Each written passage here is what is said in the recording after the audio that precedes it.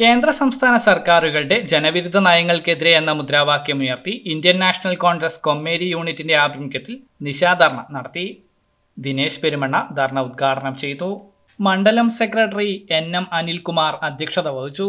Block secretary K P Subair മണ്ഡലം president Mullassery Gangadharan Mahila Congress ജില്ലാ secretary Dhanalakshmi Mohandas Mahila Congress മണ്ഡലം president Sindhu Sunilkumar Sreedharan Asokan V N Mohandas തുടങ്ങിയവർ സംബന്ധിച്ചു.